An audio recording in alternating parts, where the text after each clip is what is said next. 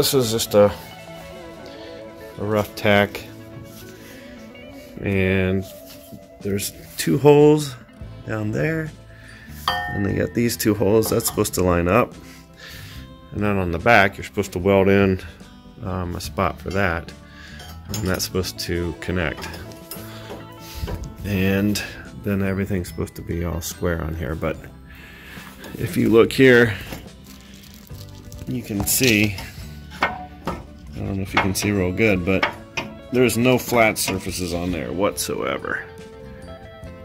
So to level that out, my image is I'm gonna take, uh, ugh, I got this big heavy bar, and I'm not gonna be sad about adding a little bit more material at least down past the body mount anyways to give it more strength. And I'm probably gonna cut a whole bunch of this off just because I can't stand it. I think it's still good metal but I'm gonna square that up nice. I gotta do both sides that way actually. This side's a mess too but well I got part of it done. I got just like I wanted. I gotta fill in a little bit more. And I gotta fill in on that corner.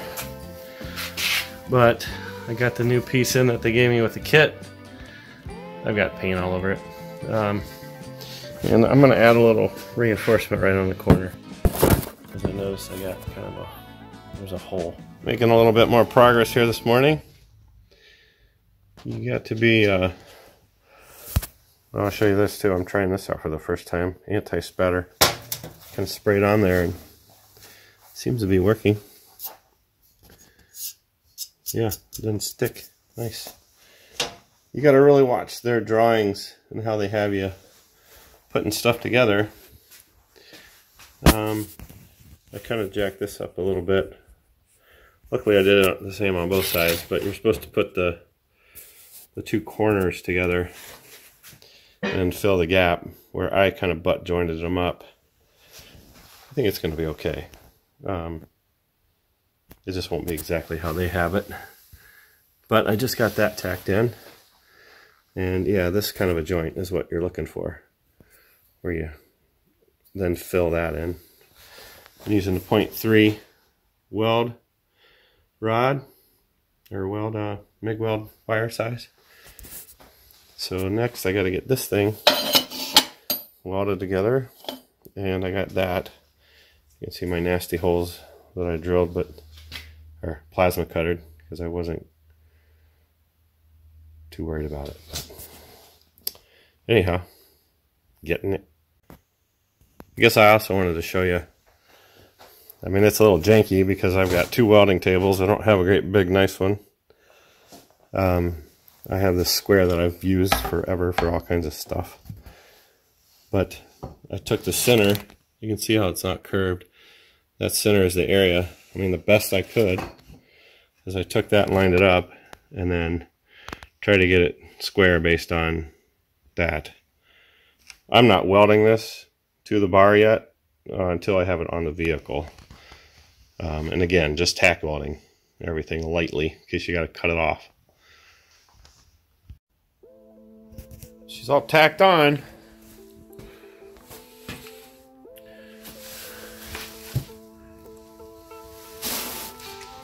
Oh, good. I get to take those nasty brackets off. This area is all good. Pretty straight line. Not too bad. Still got, I got to pull it all off. I did get worried because of those bolts up there. I was like, oh no. But those True North guys did good because they put a slot there. So now I should be able to just slide the whole thing down once I unbolt it. Looking pretty cool though. Eight hours of welding. I don't know if I've gotten any better at it, but I got a lot more practice. I did put a little chamfer end on that. Um, I think that the little ends of the bumper, uh, or I say the frame, we're supposed to add in a little piece so that you can actually get those two bolts at the end uh, to bolt into that. But I had to redo my frame end, and I think I made it a little far forward. Um, my welds aren't great, but you know, there's mistakes everywhere. But I don't think anybody's gonna notice. I've already forgotten about them, which that is the most important thing. Those I gotta grind down a little bit more. Um, that's one of my final welds. It's not so bad.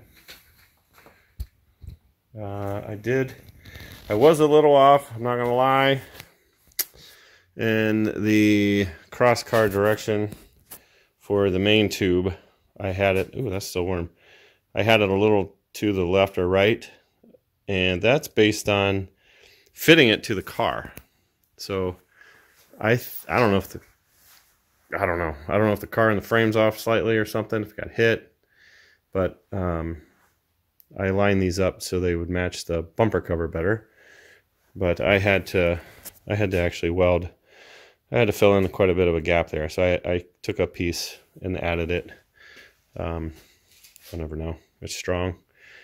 It doesn't look super pretty, but uh, and I just got done welding the swing arm. I thought I was putting a lot of weld on there. I'm gonna have to grind some of that off. Um, you know, you walk by your welder and you flip that. Oops.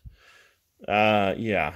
And I was like, man, I'm putting a lot of weld on. And I tried to go fast, uh, but it's a big old goopy mess there. I'm not so worried because that's the tension side. That's to hold all the way to that 60 pound tire bouncing around. But um, yeah, I'll show you. Look, that barely even touches there. So that's, I got it right where it needs to be with a little bit of weight on it. And it's going to fall over on me if I'm not careful. Um, but it works and it looks really fabulous on the car actually. Uh, those True North guys, True North Fabricators, did a really nice job designing this. And if my car was a little nicer, I think that this kit would have been, uh, it wouldn't have taken as long. but I fit everything to the car because it's like an old house remodel. Things are crooked and everything. Um, you know, right there, yeah, it's pretty parallel. So I'm excited to get the rest of it done. I got a pile of parts still here to do. So even uh, they mention in the instructions that these are just going to be rough pieces of metal. Uh, and everything that they do. So you kind of got to prep these things a little bit.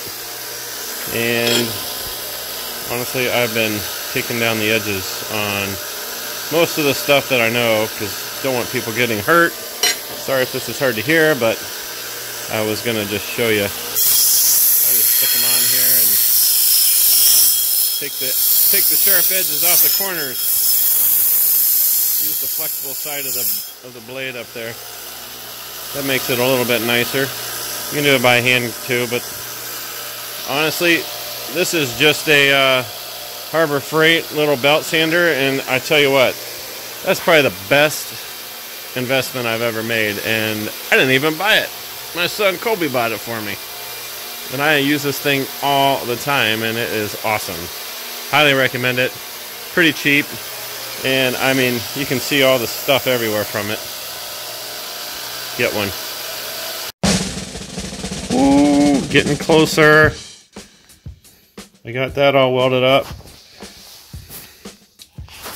Some of my prettier welds that I can manage to to make. I got this balanced on here, which I'm a little afraid of. I don't want to drop it, but I am trying to figure out, do I put that on now?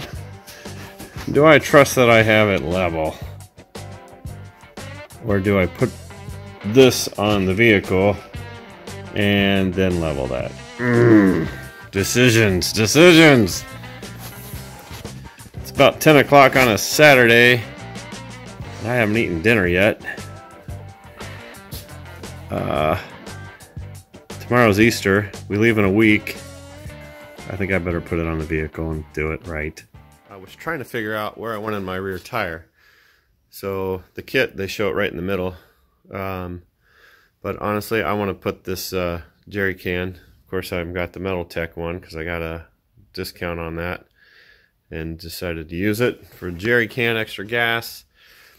Uh, what I noticed though is you got to be careful how far over you go because you're going to start blocking uh, the the rear tail lamp. But so I gotta weld this on. Like I said, this moves. I got it marked where I want it, but it's just it can move all around.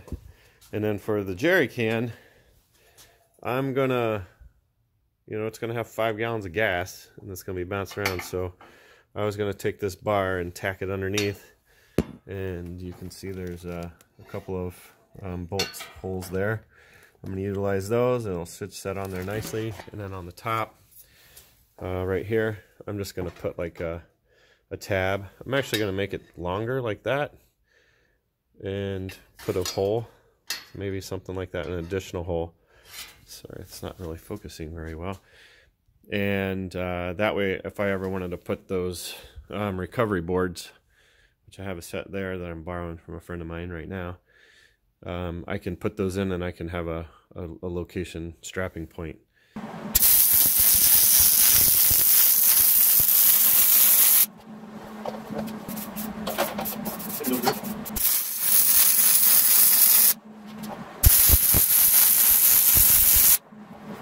If you're wondering the technique I'm doing, which I also asked the uh, SRQ guys how they do it, is you go and you fill in, fill in, and you go back and build.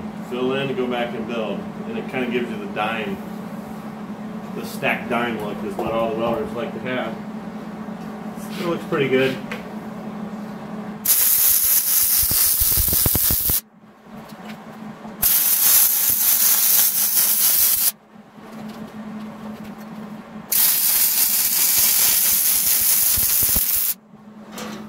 Got that all fitted.